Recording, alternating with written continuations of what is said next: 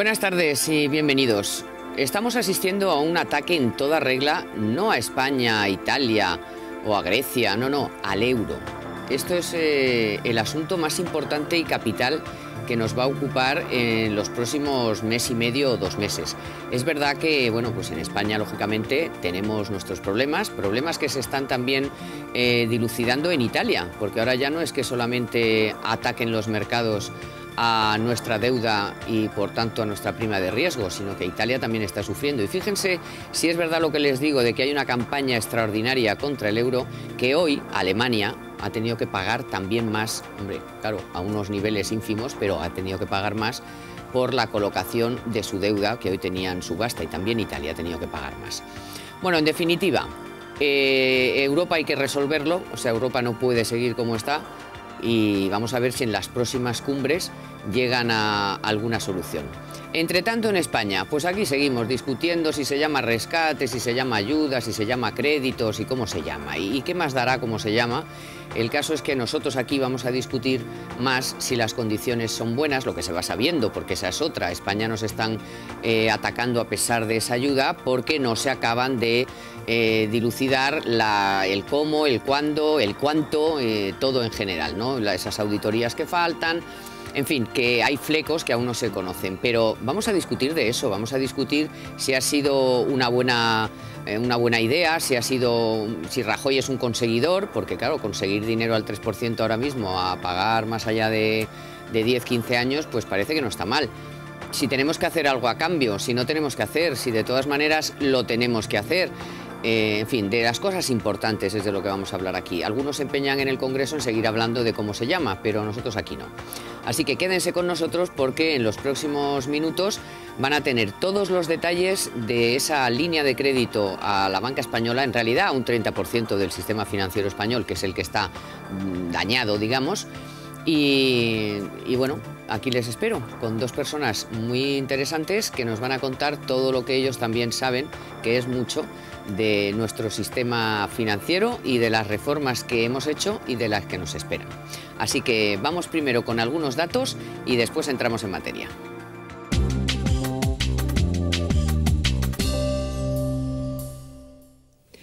Bueno, pues eh, entre esos datos que hemos conocido en estos días está la venta, las ventas que en general están en horas bajas, tanto las de casas, que registran mínimos en abril, como la de electrodomésticos, que suman 25 meses de caídas.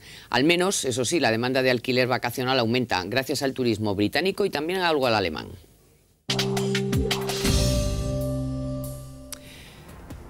La venta de casas marca mínimos en abril y encadena 14 meses de caídas. En abril se han vendido 21.500 viviendas, un 10% menos que en 2011. Y en lo que va de año, la venta de pisos ha caído un 24,5%.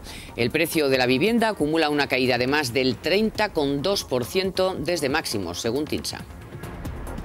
La industria de electrodomésticos ha registrado un descenso de la facturación del 15,4% en los cinco primeros meses del año respecto al mismo periodo del año pasado. Suma 25 meses de caídas. Retroceden las ventas de todas las categorías de producto, aunque de forma más acusada las de secadoras, cocinas y congeladores. La demanda de alquiler vacacional en España ha aumentado un 24% en mayo. ¿Gracias a qué? Pues al turismo británico, que ha demandado un 63% más de solicitudes que en el año anterior. Destaca también el incremento en un 51% de las peticiones de los turistas alemanes, junto con las de los holandeses, que han crecido un 32%. La demanda nacional sube, pero un 20%.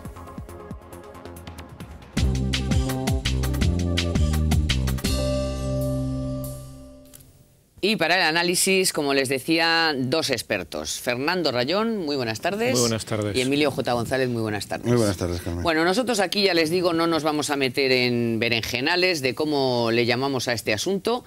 Vamos primero, mm, antes de entrar en, en la materia entre nosotros, a ver lo que ha ocurrido esta mañana en el Congreso. Había Sesión de control al gobierno. Lógicamente, la, cuestión del rescate a la banca, de la línea de crédito al sector financiero español, ha estado presente y de, muy, de forma muy intensa, aunque también seguimos con la cantinela de si estamos ajustando demasiado o si hay que seguir ajustando. El dinero lo pidió el Estado, el dinero llega al Estado y del dinero responde el Estado. En resumen, un préstamo del Estado para rescatar a los bancos. ¿Qué piensa usted del, señor, del rescate, señor Rajoy? En España, en el año 2009, por las razones que usted sabrá, no quisieron hacer eso. Nos dijeron que teníamos el mejor sistema financiero del mundo y ahora pues, se ha demostrado que no lo tenemos y por eso nos hemos dirigido a la Unión Europea. La Unión Europea va a prestar 100.000 millones de euros. Esos 100.000 millones de euros van a ser utilizados por los bancos hasta un máximo. Tendrán que devolverlo en su momento, con lo cual lo que otros hicieron con su deuda pública, nosotros lo vamos a hacer con la ayuda de la Unión Europea. Puedo asegurarle que estoy muy satisfecho porque España no tiene en estos momentos esos 100.000 millones ni, como usted sabe, puede emitir deuda pública. En el año 2009 sí podría, pero como teníamos el mejor sistema financiero del mundo, según ustedes, pues vamos con tres años de retraso con respecto a los demás. El rescate tiene una letra pequeña que conviene estudiar a fondo en esta Cámara, porque, como usted sabe, el diablo está en los detalles. Como debemos aquí en esta Cámara crear una comisión que examine a fondo lo que ha pasado en el sistema financiero, una comisión que se preocupe de lo que pasó antes de su llegada al Gobierno y también de lo que pasó después de su llegada al Gobierno. Porque, señor Rajoy, usted no puede pretender que nos creamos que el espectáculo de Bankia pasando de 4.000 a 23.000 millones en dos semanas no ha tenido ninguna influencia en lo que ha pasado este fin de semana, por tanto, antes y después. Eh, eh, se dice que España ha vivido por encima de sus posibilidades. Yo le diría unos más que otros pero lo que estoy completamente seguro es que estamos recortando por encima de nuestras posibilidades y que si seguimos ajustando y ajustando y ajustando no vamos a crear empleo. Yo soy presidente del Gobierno de España. Yo me he encontrado con la situación con la que me he encontrado y lo que voy a hacer es tomar las decisiones que creo que son buenas para generar en España crecimiento económico y empleo, que es el objetivo fundamental que tenemos para los próximos cuatro años. Yo le he remitido una carta al señor Barroso y al señor Van Rompuy y la daré en la reunión que el día 22 tendremos con los líderes de los países europeos más importantes en Roma, donde apuesto claramente por la integración fiscal y por la integración bancaria. Esto solo se arregla haciendo los deberes en casa y con mucha más Europa. Bueno, este es el mensaje que yo les decía un poco al principio, que se necesita más Europa, una Europa más unida, una Europa que, que, no puede seguir cada país yendo a lo suyo, porque si mantenemos una moneda común, pues lógicamente deberíamos tener también políticas comunes y supervisión común y, en fin, una, cosas elementales. Vamos con el segundo tramo de lo que ha sido hoy eh, la sesión de control al Gobierno, ya saben, Soraya versus Soraya, y esto es lo que ha dado de sí que ha sido bastante interesante. ¿Cómo va a asegurar el Gobierno que el Parlamento pueda cumplir las funciones ante esta situación de rescate? La Unión Europea va a poner a disposición de los bancos hasta 100.000 millones de euros a través del FROP y sin condicionalidad macroeconómica. Estos son los hechos. Y cuando se concrete a quién y cómo se dan, el Gobierno informará puntualmente a esta Cámara y este Gobierno estará encantado si la Cámara decide que la Comisión del FROP, la subcomisión del FROP, se refuerce para que sus debates esta vez sean transparentes y exhaustivos y no como en anteriores ediciones. Es su responsabilidad que la semana pasada los ministros hablaran de forma contradictoria y extemporánea y que usted misma, en una rueda de prensa, 24 horas antes del inminente rescate, lo estuviera mintiendo, actuando, si me permite, con una frivolidad y una hilaridad impropia del cargo que ostenta. Los ciudadanos se sintieron huérfanos de un presidente que estaba más preocupado de las citas con los estrategas de Moncloa que la cita que tenía con los ciudadanos de un país que fue rescatado bajo su mandato. Esa imagen le va a acompañar siempre al Gobierno y al presidente. El presidente que no quiso serlo el día que más le necesitaba este país. Le dijeron que comparecieran el domingo.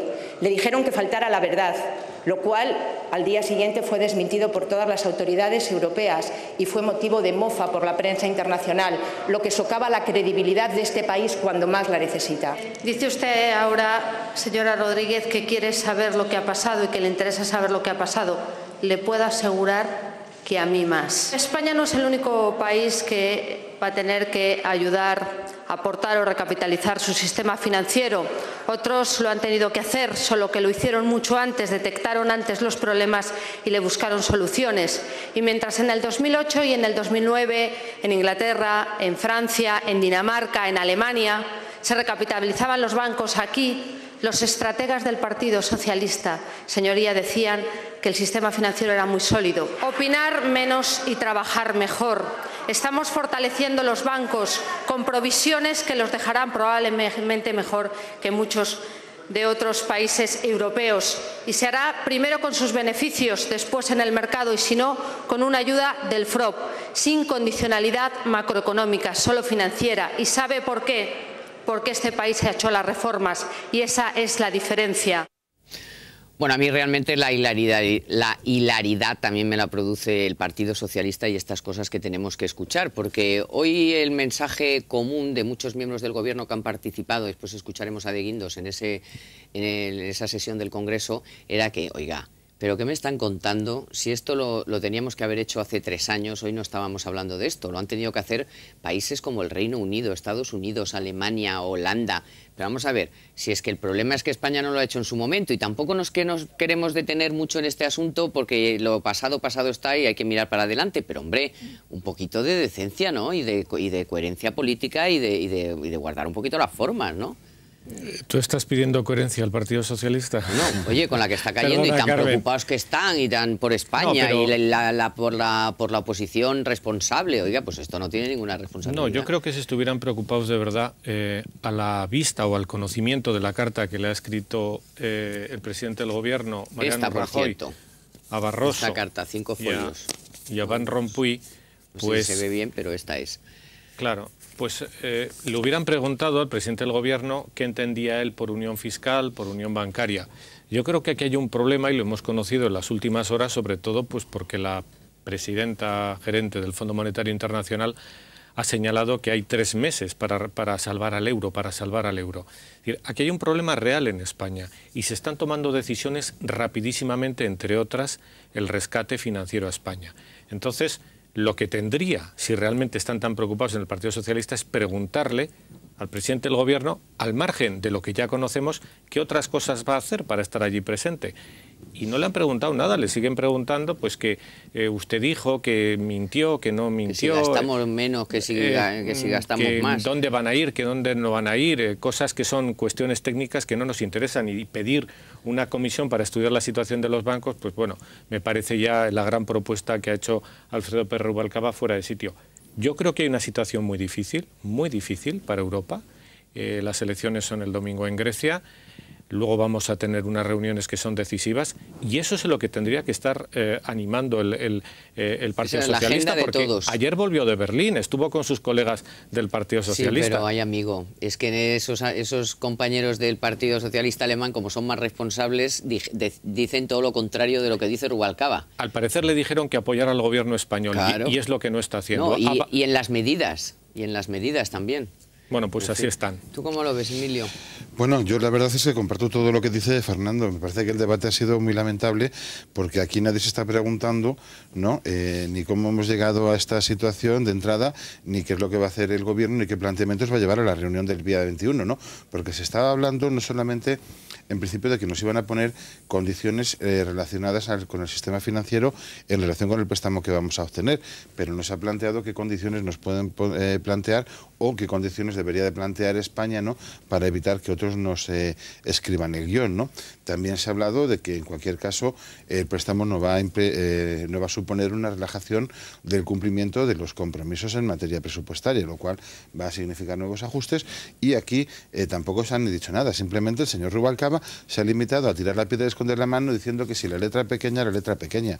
Aquí no hay ninguna letra pequeña. Yo creo que está clarísimo que el gobierno está embarcado en un ajuste presupuestario de muchísimo eh, calado y que Bruselas lo único que está haciendo es respaldarlo porque las medidas están ahí, ¿no? Aquí hay una cosa que tenemos que conocer todos que es muy importante. O sea, si eh, a España nos han concedido un crédito para sanear nuestro sistema financiero, un rescate, me da igual, que en el supuesto de que se utilizara en su totalidad esos 100.000 euros sería el 10% del PIB.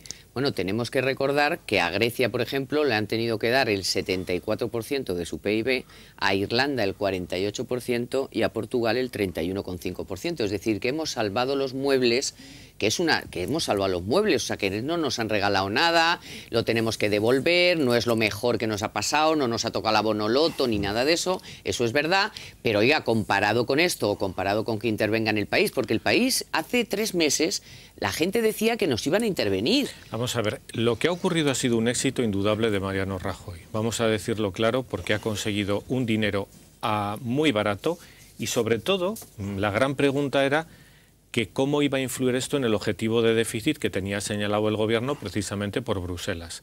Hemos sabido por algunas filtraciones hoy de la prensa, cosa que nadie ha hablado ni ha preguntado en el Parlamento, bueno, curiosamente. Si me hubieras escuchado a mí el sábado, tú también ya. Tú ya lo, ya lo adelantabas, pues me alegro muchísimo. O sea, es que no soy la portada del mundo. No, no, pero, pero, pero quiero decir que hemos sabido que esto se va a empezar a devolver dentro de cinco años, con lo cual el objetivo de déficit lo tenemos asegurado. Las condiciones de este crédito son buenísimas, vamos a decirlo claro. Y también todos sabemos que la situación financiera es mala, por no decir en algunos bancos muy mala, porque están siendo rescatados. ¿Qué pero se le puede poner a ello? La gestión ha sido muy positiva. Dicho lo cual, estamos dentro de un problema, como he dicho antes, que es el euro. Y luego otra cosa, eh, Fernando y Emilio, te quiero preguntar, hay otra cosa que no está contando nadie y que yo ya lo vengo contando desde el sábado, vamos a ver, que esto mayoritariamente no es un préstamo, un dinero que le vamos a dar a la banca, no, es que el Estado se va a meter en, los, en las eh, cajas o bancos que rescate, es que va a comprar las acciones y después va a sanear el banco y va a profesionalizar la gestión y se van a acabar los dividendos y se van a acabar los bonus y se van a acabar los políticos y los sindicatos y los clientes y, además, no sé qué. y además y una después cuando se sanee, pues cuando se pueda se venderá y se conseguirán las plusvalías. Y con las plusvalías se va a reducir todavía más deuda Bueno, de la que hay ahora, que es de lo que no están hablando De eso tampoco han hablado los nada en amigos el de la Parlamento. catástrofe. ¿no? Nada. Pero yo creo que también hay que, el tema de los 100.000 millones, eh, la Unión Europea ha sido prudente y ha querido dotarse de un colchón. Pero yo creo que el gobierno lo que va a pedir van a ser 60.000 millones. De hecho, en las enmiendas que se presentaron ayer a la ley de presupuestos se eh, y a la ley de acompañamiento se presentaba una en la que se pedía la autorización para que el FROD pudiera endeudarse en hasta 60.000 millones de euros. Luego yo creo que ahí ya se nos está dando una primera valoración de cuánto va a ser necesario realmente para el saneamiento de la banca española. ¿no? Que eso son cual- un test de estrés de no veas, ¿eh? Claro. con una caída del PIB del 4%. Sí, sí, ¿eh? sí, sí, con lo, Lo de cual los o sea, 60.000 lo de los millones. 100.000 millones es para situarnos pues poco menos que en un escenario de En ataque el nuclear. doble de lo que ¿no? necesitaríamos. En el doble de lo que necesitaríamos, o sea que Bueno, vamos, que. Emilio, que tenemos mm, más tiempo después para seguir comentando todo esto, pero antes les tengo que decir que esta semana la Caixa nos sugiere descubrir las ventajas de su cuenta online sin comisiones. Domicilie sus ingresos y realice sus operaciones habituales por canales electrónicos con su cuenta cero.com y disfrute de todas sus ventajas. Contará de inmediato con una serie de servicios gratuitos como el mantenimiento y la administración de su cuenta o la domiciliación, de hasta 20 recibos. No tendrá que pagar cuota anual por su tarjeta de débito y además podrá realizar una transferencia al mes, nacional o internacional, de forma totalmente gratuita. En cualquier caso, si desea más información, ya sabe que puede acudir a cualquier oficina de la Caixa o visitar su página web www.lacaixa.es.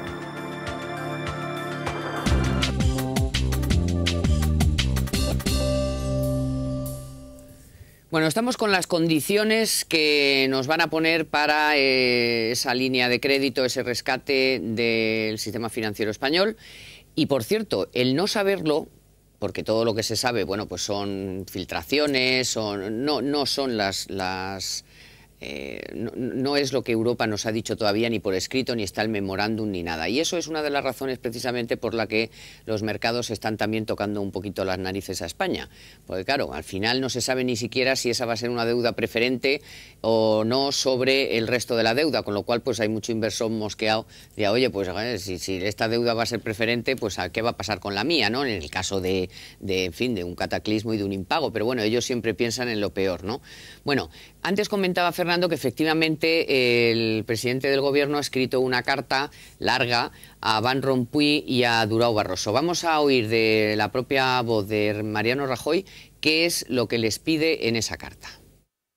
En la carta yo lo que hago de cara al Europeo es eh, eh, aportar eh, al debate que allí se va a producir, ¿no?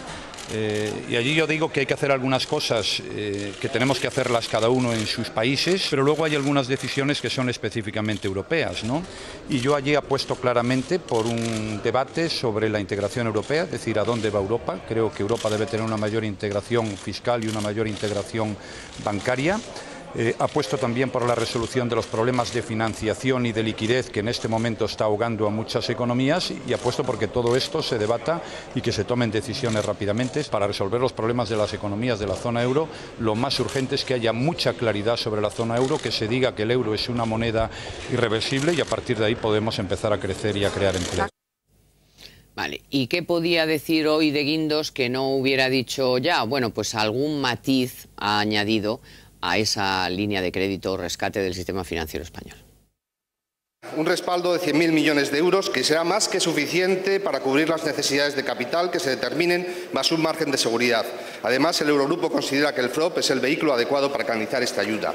El préstamo, como conoce perfectamente, será en condiciones muy ventajosas. No se va a generar ningún coste para la sociedad, sino todo lo contrario, ya que solamente se exigirán, como acaba de decir el presidente de Gobierno, condiciones al sector financiero.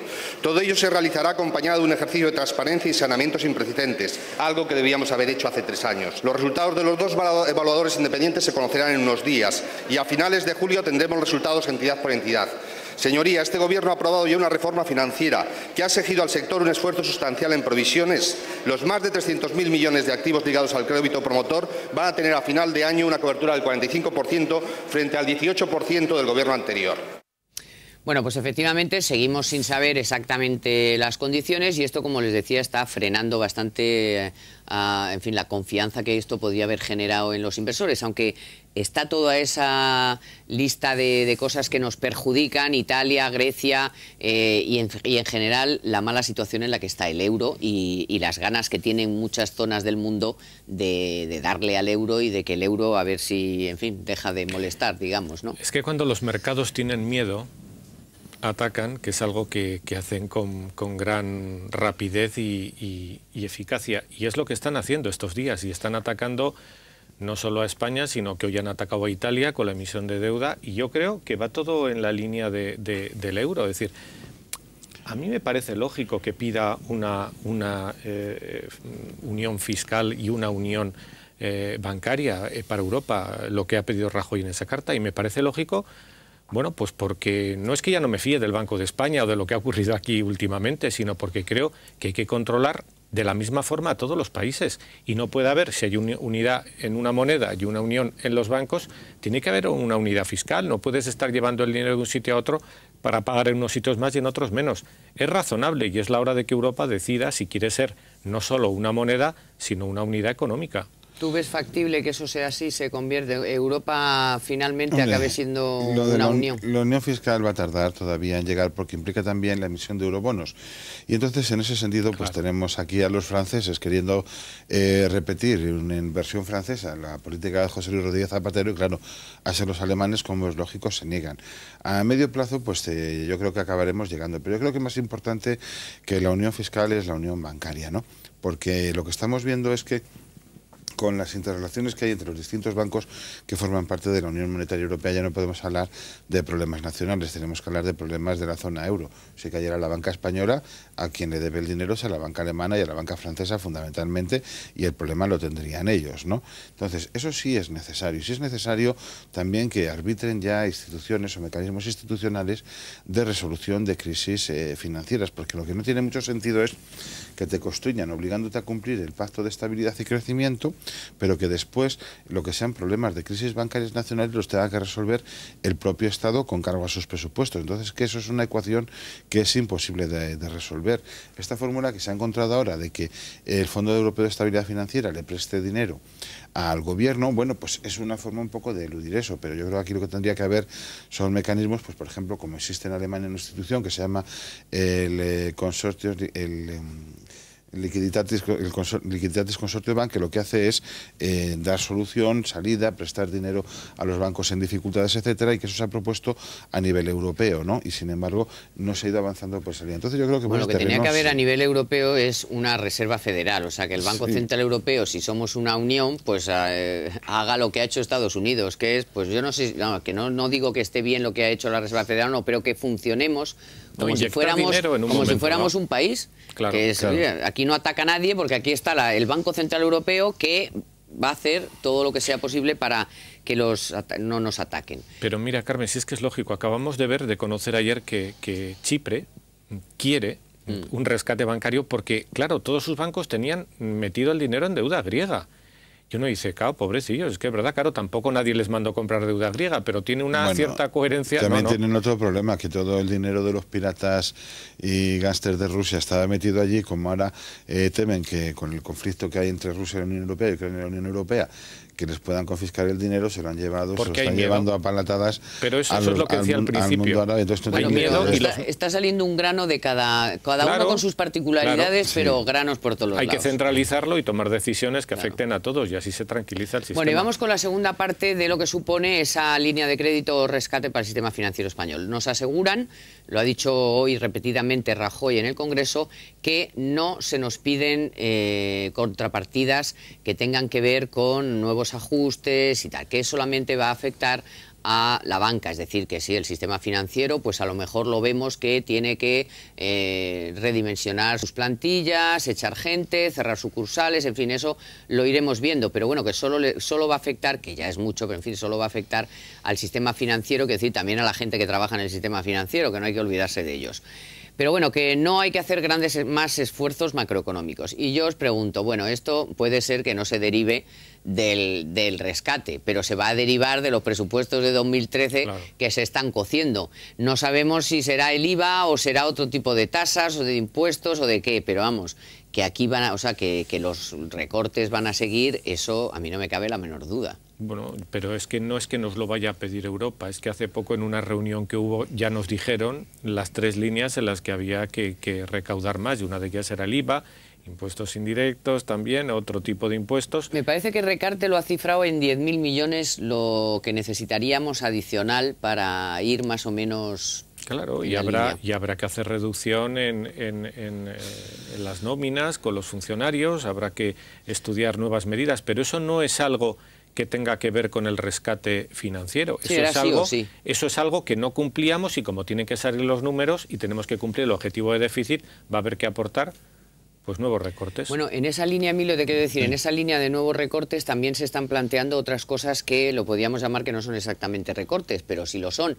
Por ejemplo, en la ley de haciendas locales se está previendo que todos los ayuntamientos de menos de 20.000 habitantes se acaben con el número de concejales, que los servicios los lleve la Diputación, que se acabe con las mancomunidades. En cuanto al, al personal que trabaja para la Administración, pues que produzca más, que se acaben los moscosos, en fin, toda una serie de, medidas. También ayer en las enmiendas que se introdujeron a toda la normativa económica que se está tramitando en el Senado, eh, ya empezó a clarificarse un poco esa parte de la reforma laboral relativa a los seres, a los seres, a los expedientes de regulación de empleo en la función pública, ¿no? que pueden afectar incluso a funcionarios de oposición. ¿no? Ayer se estableció en la enmienda que eh, en los seres se iba a dar eh, prioridad en la permanencia en el empleo a quien hubiera pasado un examen, pero no quería decir que los seres en la función pública no pudieran alcanzar también a personas que tienen eh, su plaza por oposición. ¿no? Es decir, que lo que viene es una reducción de personal en el ámbito público, cosa que a mí no me extrañaría porque es que las autonomías y los ayuntamientos se han hinchado a contratar y contratar gente que no necesitan para nada, mientras el Estado reducía y transfería personal y competencias a las autonomías, resulta que las autonomías para ejercer esas competencias no solamente cogían las personas transferidas del Estado, sino que multiplicaban el número de empleados por tres. Pues eso no tenía muchísimo sentido. Ya bueno, muchos miles de concejales y de alcaldes tampoco nos hacen mucha falta. Por supuesto, en eso estoy totalmente No, pero, pero no, no, para reducir el déficit, simplemente porque no hacen falta. Bueno, eso por saneamiento, por higiene, por higiene, no, económica, sino mental. hasta mental, claro. hasta mental. Y, yo creo que hay pues que... es como lo de las universidades y los aeropuertos. Oiga, si hay cuatro personas estudiando en la escuela, me lo voy a inventar, pero no, pero en, Castilla-La Mancha, en Castilla-La Mancha, por ejemplo, en la escuela de arquitectura de Toledo no hay ningún estudiante.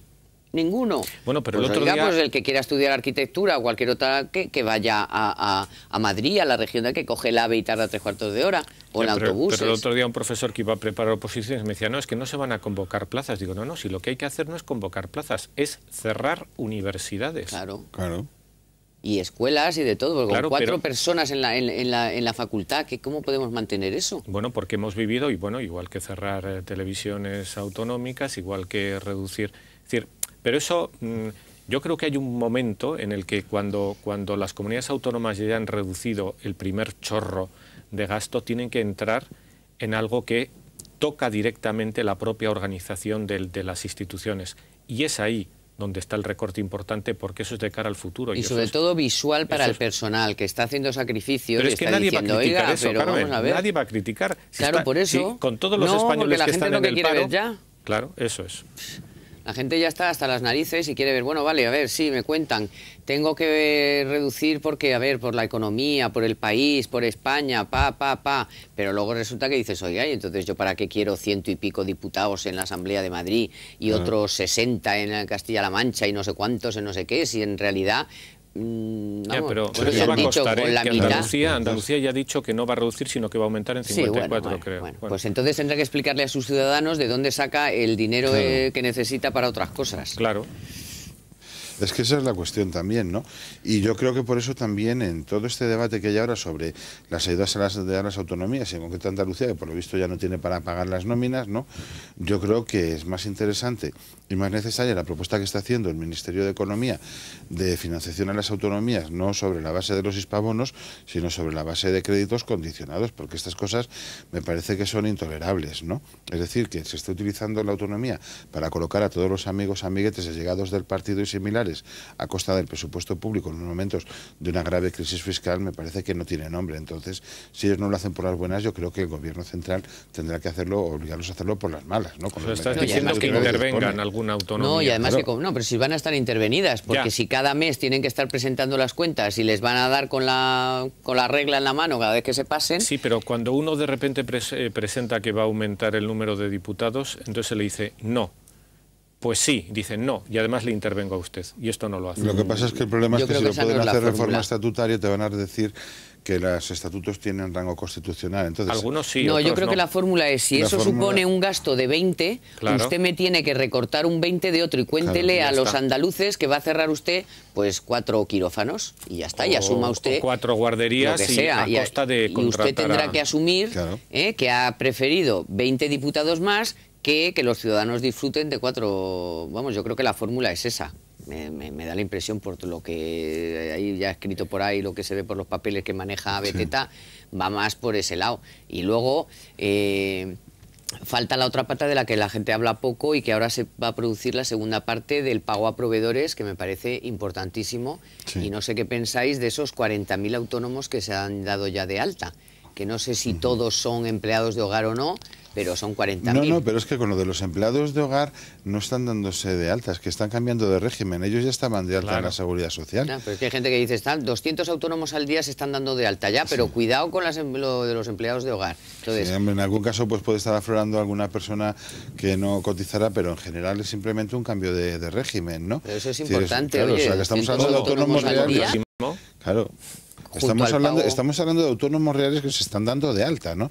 Es decir, que la reforma laboral en este sentido está siendo fundamental y el adelanto y el y las cantidades que está adelantando el gobierno a las autonomías para que vayan eh, regularizando el pago a proveedores está siendo también fundamental porque lo que les permite es supervivir, sobrevivir y seguir adelante. Como nos queda poco tiempo, les voy a pedir que hagan un ejercicio de bola de cristal, la verdad. Pero bueno, como ellos tienen datos y hablan con mucha gente y pueden tener sus percepciones, vamos a ver. Entre la línea de crédito entre la ley de estabilidad, o sea, que las autonomías eh, se aprieten el cinturón, eh, la que también les, vamos, para los ayuntamientos también algo parecido, el pago a proveedores, la reforma laboral, mm, en los presupuestos del año que viene. Con todo eso, ¿vosotros veis, sois o sois tan, tan esperanzados como lo hicieron hace un mes o así los 17 mayores empresarios de este país? ¿O creéis que todavía nos queda un camino de bastante desértico por recorrer? Yo creo que tenemos un problema en España como lo tiene la Unión Europea, que es político, de lo que queremos ser. Y en la medida en que se entre en esa cuestión, es una cuestión que afecta, por supuesto, a las autonomías, que afecta a los ayuntamientos, pero a la propia organización del Estado, eh, las soluciones vendrán antes y empezaremos a salir de la crisis en España antes. Si empezamos a negociar, como estábamos diciendo hace un momento, tú me pones aquí 20 pero me quitas del otro lado, no, yo creo que hay que ir al fondo de la cuestión, es decir, usted no puede tener siete universidades, usted no puede tener 25 aves, usted no puede tener, es decir, ir al fondo de las cuestiones económicas, usted no puede tener 50.000 funcionarios. Eso es acometer problemas de fondo que son en realidad problemas económicos, que afectan a la vida política, a la vida de los ciudadanos y que, y que al final se traducen en pesetas concretas. Yo creo que Europa tiene un problema que no es el euro, que es la unión económica y en España tenemos un problema que es un sistema político que no se puede mantener y que hay que cambiarlo. Bueno, como dijo Esperanza Aguirre, y si nos tenemos que buscar empleo, pues no lo buscaremos, ¿no? Hombre, es que la cuestión está en que los políticos deben de estar, o las instituciones al servicio de los ciudadanos, no los ciudadanos al servicio de quienes manejan las instituciones. Entonces yo creo que en ese sentido, y es lo que yo sí que estoy echando de menos en estos momentos en el gobierno del Partido Popular, es que yo creo que tendría que marcarse ya unas directrices más allá de la ley de estabilidad presupuestaria y de otras medidas que se están tomando, ¿no? Sobre qué se quiere hacer con las universidades en España, con la sanidad en España, etcétera, etcétera, y que el gobierno marque unas directrices y diga esto se abre, esto se cierra y esto se cambia. Porque si esperamos que las autonomías lo hagan, ninguna de ellas lo va a hacer, no van a asumir el coste político y lo que nos podemos encontrar es que aunque al final, por ejemplo, pues con las universidades, pues que digan las autonomías con ese problema, que devuelven las competencias al Estado y que sea el que se queme. Entonces, en ese sentido yo creo que el gobierno debe de ejercer un liderazgo muy claro, ¿no? Un liderazgo que además, si lo hace bien, le será recompensado en términos electorales, o sea que no debe de temblarle la mano a la hora de decir esto es lo que hay que hacer y se acabó. Bueno, pues muchas gracias Emilio. Y gracias, Fernando. Y hemos terminado. Por supuesto, gracias a todos ustedes por estar un miércoles más con nosotros. Esperamos haberles sido sobre todo útiles. Y aquí seguiremos el martes que el miércoles que viene, pues porque seguramente seguiremos hablando de lo mismo que no es por aburrimiento, sino que es muy importante. España y Europa se la está jugando en serio y nosotros estaremos aquí para ir contándoles cómo lo vamos solucionando. Así que gracias por estar ahí y por su confianza. Hasta el miércoles.